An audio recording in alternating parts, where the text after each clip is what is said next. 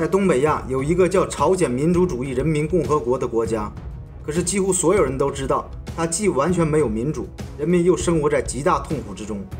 根据各种公开或隐秘的信息显示，金家王朝统治下的朝鲜，可谓是整个世界上最封闭、落后、最专制集权、最残忍暴力的政权，侵犯人权的严重程度是世界之最。那么，这样一个极度邪恶的政权是如何建立起来的？又是如何得以长期存活的？它的未来会是怎样的呢？那我们来说说金日成的发迹史。关于金家王朝的建立，需要从金日成的发迹史开始讲起。金日成本名金成柱，少年时随父亲从朝鲜流亡中国东北。来到中国东北后，金日成加入中共和抗联，参与反日斗争，并逐渐成为抗联重要领导人。金日成的实际抗战战绩很差。他指挥游击队取得的最大胜利——普滇堡大捷，其实也只毙伤日本警察和平民二十多人。后来，在日军和伪满军队围剿下，金日成率部退入苏联境内。在苏联期间，他成功的于残酷的政治斗争和清洗中存活，并成为抗联游击队一派中朝鲜人的领袖人物。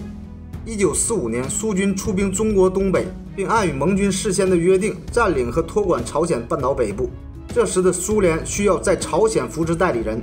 对抗由美国扶植的南韩李承晚政权。苏联一开始试图扶植有“朝鲜的甘地”之称的朝鲜独立运动家曹婉植，但是曹婉植有反共主义倾向，并且试图让朝鲜摆脱苏联的控制，独立自主地决定半岛的命运。这自然让苏联人警惕和不满。在这样的情况下，金日成作为替补候选人得到了苏联的关注和肯定。在苏联的扶持下，一九四六年二月，金日成成为北朝鲜临时人民委员会委员长，开始了他漫长的朝鲜领导人的生涯。但在此时及此后的十年间，金日成的政权并不稳固。这种不稳固不仅来源于外部的威胁，更在于统治集团内部的冲突与较量。北朝鲜政权内部存在诸多政治派系和实力派人物，制约着金日成无法独断专行。北朝鲜政治派系包括以金斗凤为首的延安派、许家怡为首的苏联派。朴宪勇为首的南劳派，还有就是金日成为首的游击队派，各派人物各怀鬼胎，相互之间尔虞我诈，都想夺取朝鲜最高统治权。金日成成为朝鲜最高领导人后，就使用权术逐步排除异己。他利用在朝鲜战争期间积累起来的权力威望，开始一个个清除政敌。一九五三年朝鲜战争停战后，金日成立即对没有背景和失去实力的南劳派动手，处决了南劳派代表人物朴宪勇。并彻底清洗了南劳派势力。之后又趁斯大林去世不久，苏联领导人更迭时期，因此苏联派人物许家宜自杀，其余苏联派也树倒猢狲散。一九五六年，在八月中派事件中，一举击垮了延安派，除少数人逃亡中国外，延安派成员纷纷被处死或投入劳改营。在肃清这三派力量之后，金日成在朝鲜的地位已无可撼动。不过，清洗始终没有终止。例如，一九六零年代，金日成又肃清了游击队派内部倾向于反金日成的势力，假山派首领朴金哲被处决。一九七六年，朝鲜人民军大将南日因车祸身亡，被怀疑是金日成谋杀所致。这只是被清洗的较为知名人物，被清洗的中下级党军政人物更是不计其数。金日成即是通过这种持久清洗来维持其统治存续的，直到金日成死亡，这种清洗都没有停止。并且被他的儿子金正日和他的孙子金正恩继续使用。可能有人会有疑问：为什么他可以成功清洗这么多政敌，而那些人没有成功反击？原因是复杂的。首先，在于朝鲜这种高度集中和不透明的体制，让作为最高领导人的金日成有绝对的生杀大权，其他居于其下的人很难有条件反抗成功。第二，金日成一直高举独立自主、反对世大主义的旗帜，赢得了朝鲜统治阶层中众多民主主义者的支持。这些人士还将其他派别人士视为外国傀儡或软弱无能，不予支持。第三，苏联与中国出于各种考虑，对金日成的清洗采取了放任的态度，并没有为亲近自己的派系人士撑腰，这让金日成肆无忌惮。第四，则是金日成的确有非常高超的权谋，例如可以有效迷惑政敌。并拉一派打一派，各个击破。当然，金日成手段狠毒，不惜痛下杀手，斩草除根，也是其笑到最后的重要因素。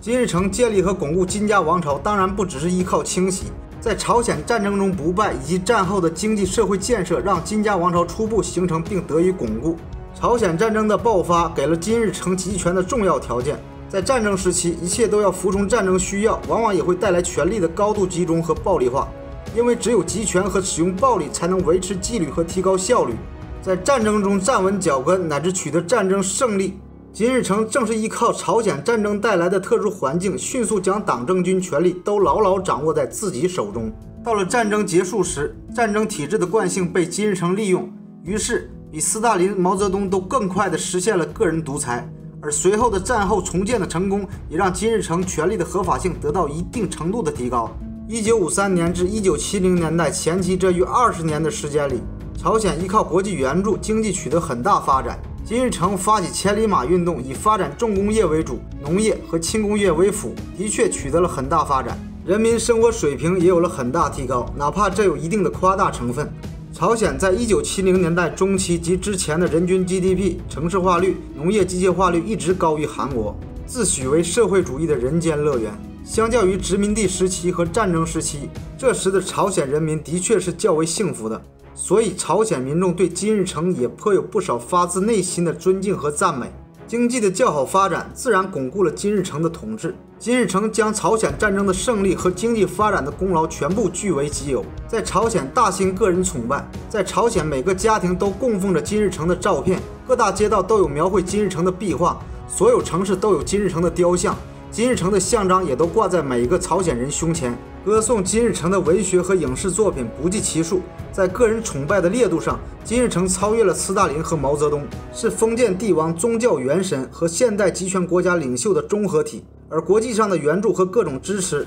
则是金日成政权得以存活、金家王朝得以建立和延续的又一重要因素，甚至是最重要因素。如前面所讲，金日成本身就是苏联扶植起来的，而朝鲜战争则是靠中国派出志愿军的强力支持和朝鲜颇丰的军事支援支持打赢的。更甚的是，朝鲜人民军中的多支主力部队是原中国军队中的朝鲜族部队，直接改编后送给金日成的。可以说，没有苏联和中国就没有金日成政权。朝鲜战争结束之后，苏联和中国为各自利益为拉拢朝鲜，都积极向朝鲜提供经济援助。例如，在一九五四至一九五七年朝鲜三年计划实行阶段，朝鲜重建的工业项目百分之八十以上是在兄弟国家的援助下完成的，而完全是由苏联、中国和东欧国家独自负责建设的工业项目共九十个，不含军事项目，占此期朝鲜恢复和新建工厂总数的百分之二十。这些援助起到了播种式的作用，中苏两国及社会主义阵营各国向朝鲜提供的资金、技术人才、资源援助。极大地改善了朝鲜经济状况，促成了朝鲜在1950年代中期至1960年代的经济腾飞。这当然对巩固金日成政权起到了非常重要的作用。除了军事支持和经济援助，苏联和中国还在政治、国际关系等方面力挺朝鲜。毛泽东为取悦金日成，还将包括一半的长白山天池及其他大量领土让给朝鲜。即便朝鲜清洗了国内的苏联派和延安派，苏中两国仍然予以姑息。在一九六零年代中苏交恶之后，中苏都希望得到朝鲜的支持，所以更加大了对朝鲜的各种支持和援助，使得朝鲜从中得利，也等于让金日成从中得利。在这些因素的共同影响下，金日成成功的掌握和巩固了权力，在朝鲜建立了世界罕见的高度专断和集权的个人独裁，并进一步走向了家族世袭的独裁统治。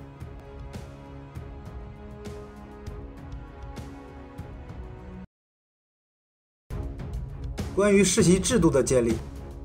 拥有说一不二、绝对权威的金日成已不满足于自己的终身执政，而是希望将权力传给后代，实现金家的世袭统治。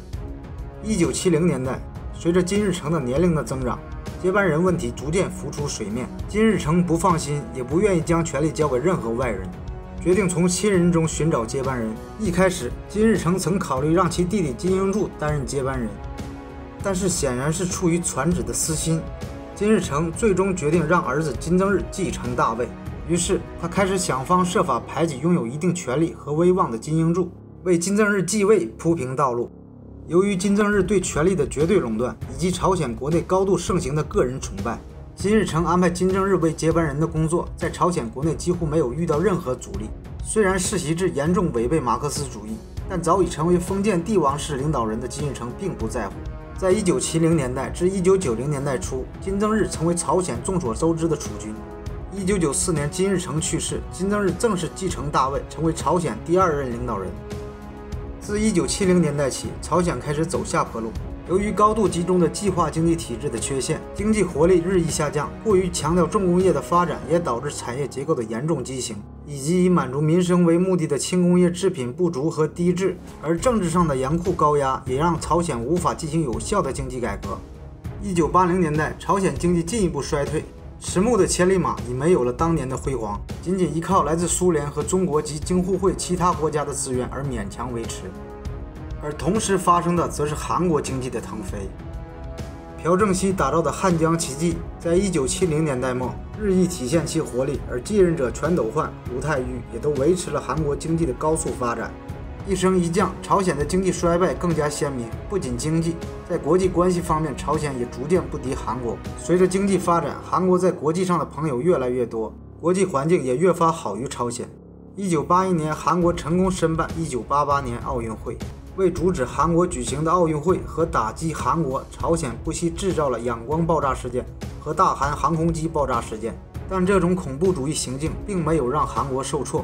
奥运如期举办，朝鲜还遭到世界孤立。为对抗韩国奥运，朝鲜于1989年倾全国之力举办了世界青年和学生联欢节。结果，除了赢得一些捧场和喝彩，影响力并没有足以匹敌汉城奥运。相反，这种巨额投入让朝鲜经济雪上加霜。对朝鲜造成致命打击的，则是一九八一年到一九九零年代初的苏东巨变及整个冷战体系的瓦解。东欧巨变，苏联解体，社会主义阵营依稀瓦解。而中国六四事件后，经济也一度陷入困境，而大幅削减外援，朝鲜依赖的外援几乎全部丧失，这直接导致了朝鲜经济的崩溃。根据维基百科引用相关文献的说法，朝鲜缺乏能力购入粮食、燃料和肥料。粮食产量大减，在一九九四年到一九九六年间，粮食产量就锐减六成，这导致工业生产也受到影响。而后来发生的自然灾害更加剧了农业减产。此后，官方的粮食配给体制崩溃，饥荒大规模出现，泛滥的水灾还破坏了不少化工厂等设施，并河水受到污染，灾民在饮用污水后生病。由于此前的泛滥，已令大量的医疗物资受到破坏，加上落后的医疗体制、药物和人手严重不足，引发了医疗系统的失效，而工业生产也因这一系列灾难几乎完全停滞，整个朝鲜陷入巨大的灾难之中。这段时期被朝鲜称为“苦难行军”。苦难行军过程中，朝鲜共有数十万至三百五十万非正常死亡，而朝鲜当时的总人口也仅仅两千多万人。同时是苏东巨变时期及巨变后朝鲜对外关系的恶化。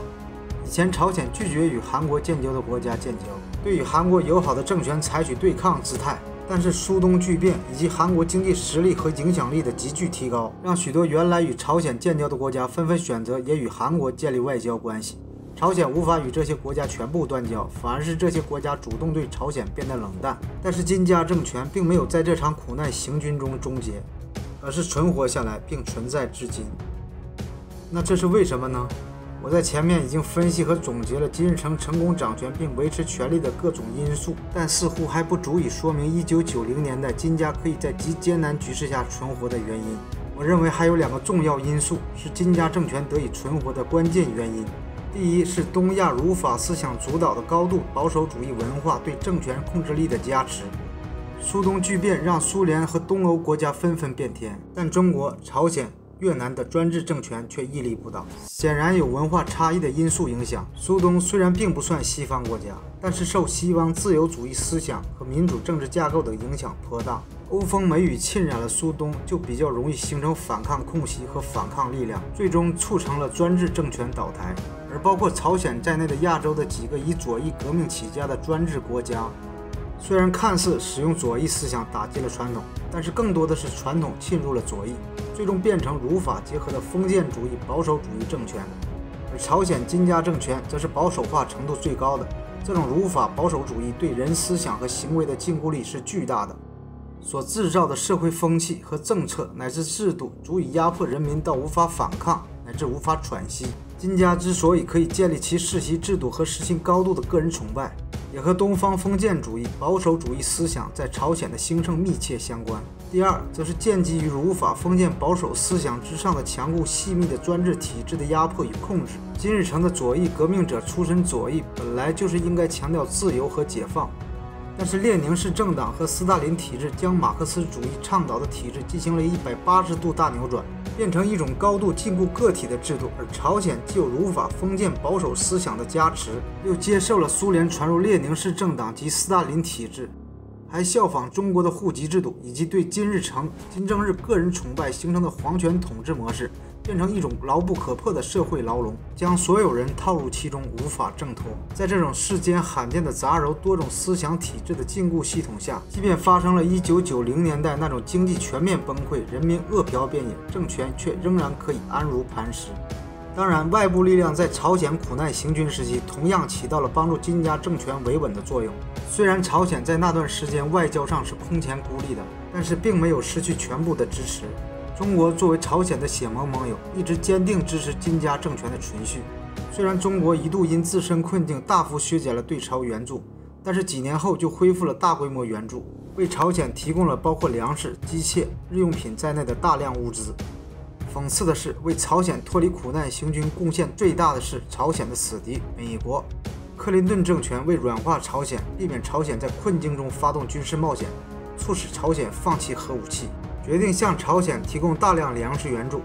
援助量超过了韩国和中国。但是金家王朝并未因美国援助放弃核武器，反而因此得到了喘息，维持了政权存续，为进一步研发核武器提供了条件。并继续采取敌视美国和整个外部世界的外交方针，这不得不说是美国乃至国际社会的失策。在以上种种因素影响下，金家王朝成功度过了自1956年8月中派事件以来最危险的统治阶段，成功的续命，并完成了由金日成到金正日的代际传承。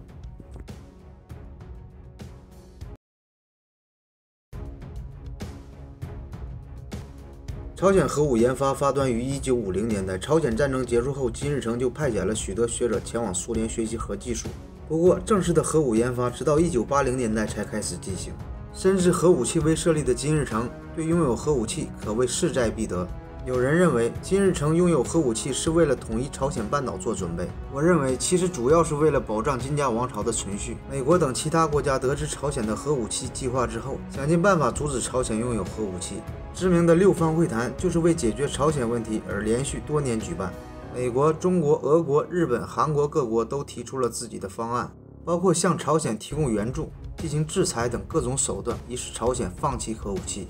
但是这些方式并未起到作用。二零零六年，朝鲜进行了首次核试验。二零零六年到二零一六年间，朝鲜共进行了五次核试验。据美国情报机构估计，朝鲜现在已拥有至少数十枚核弹，并已拥有实战能力。国际社会迄今仍未放弃促使朝鲜放弃核武器的目标。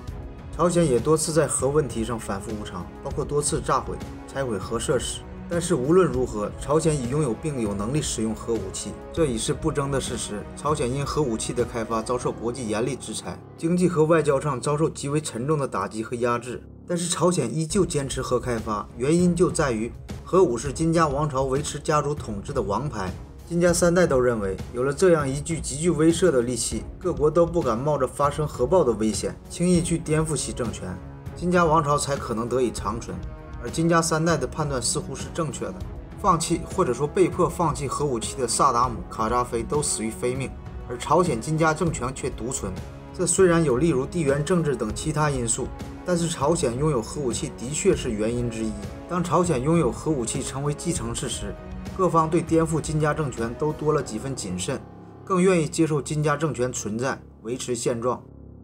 金正日统治时期，朝鲜大体保持了金日成时代的传统样貌，但它是一个比金日成时代更加艰难、悲惨、酷烈的时期。因为国际局势的变化及朝鲜核开发，金正日时期的朝鲜遭到了空前的孤立和国际制裁，而苦难行军也主要发生在金正日统治时期。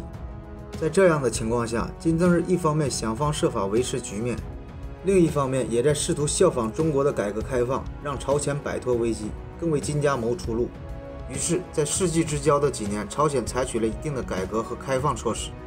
例如允许个体经营、副业生产、市场交易，以刺激经济、改善民生、增加税收；宣布开放边境和实行优惠外贸政策，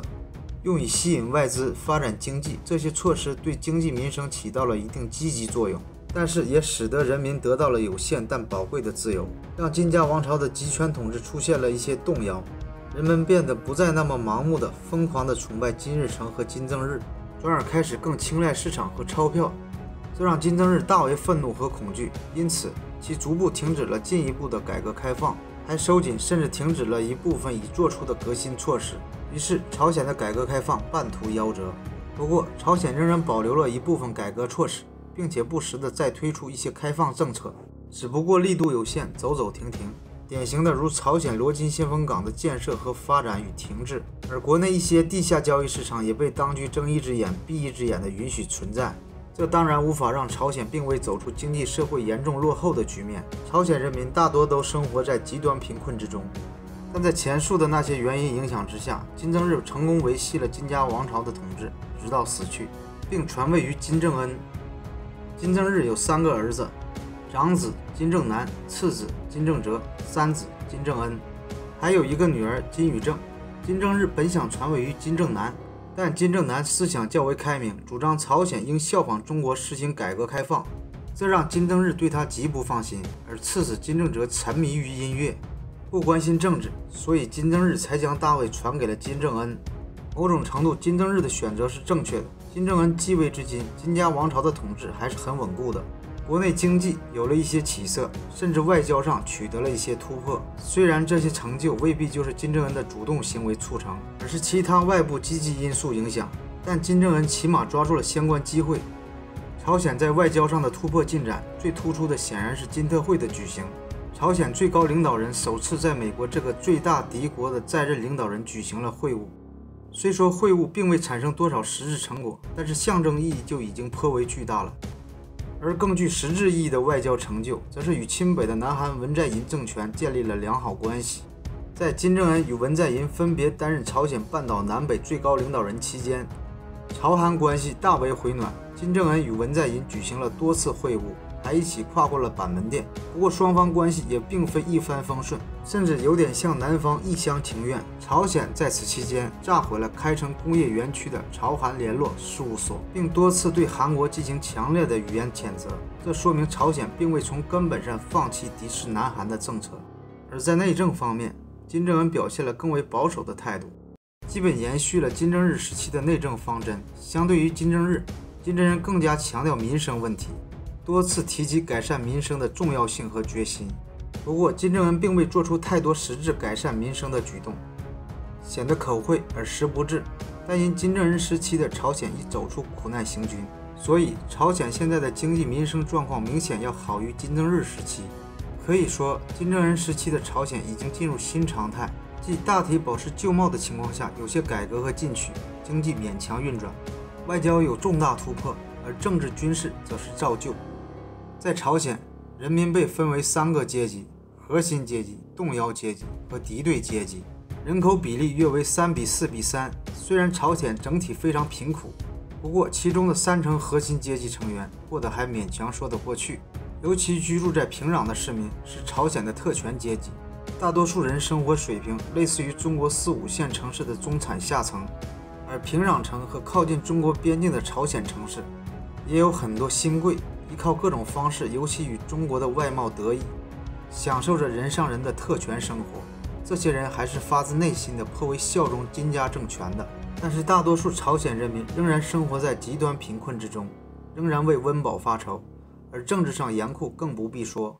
不要被金正恩的笑脸迷惑，其实际上的残忍程度不亚于其祖父和父亲。金正恩处决了其姑父张承哲，还在海外暗杀了其兄长金正男。足见其手段之残忍。朝鲜国内各种处决不断，集中营、劳改营仍然到处都是，时时都在告诉世人朝鲜持久清洗的存在。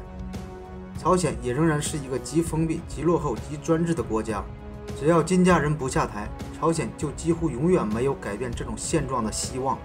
那么，朝鲜的未来会如何？这是一个既容易做出一定判断，又难以完全解答的问题。简单的说。朝鲜在金家统治下没有根本改变的可能，只有金家政权崩溃，朝鲜才能改革。但金家政权崩溃后的朝鲜会变成什么样，却无人可以准确预判。金家三代都拒绝进行广泛和根本性的改革开放，某种程度是有道理的。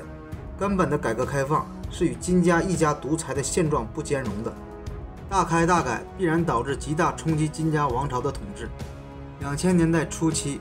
朝鲜一定程度的改革出现的结果已经证明了这一点。所以站在金家角度，不改革不开放是明智的。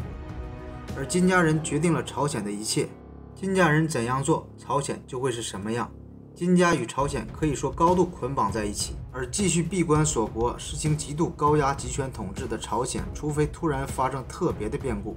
比如金正恩被杀，其他人也被杀，中国出现巨变，朝鲜的依仗彻底断绝，恐怕还能在可预见的未来长期存在下去。朝鲜人民也将继续在这大监狱里求生与死亡，在各种机缘巧合、偶然必然的风云际会下，产生了朝鲜金家王朝这样一个与现代文明完全脱节、当今世上绝无仅有的独裁政权，以及这样的国家形态，如同终身坐监狱的朝鲜人民的生活状态，令人悲哀和绝望。而朝鲜能够维持超过半个世纪的非正常的扭曲的状态，制造长久的人权灾难。国际社会的各种支持绥靖误判，难辞其咎。世界各国都只考虑本国乃至统治集团自身利益，对于朝鲜的人权却缺乏关心。例如，可能危及他国安全的朝核问题引发广泛关注，但朝鲜极端恶劣的人权状况却缺乏人们关心。不过，这种集权统治下不可能万世长存，金家王朝终有灭亡的那天，只是这需要人们想方设法的推动。而不是等它自动的到来。在朝鲜人民无能为力的情况下，国际社会应该负起责任，放下一己之私，付出一定代价，为朝鲜走向繁荣、文明、人权得到保障的方向努力，最终结束金家王朝及任何独裁者的统治，让朝鲜人民迎来光明。金家王朝的前世今生就解说到这里了，欢迎订阅天道卫士，谢谢大家。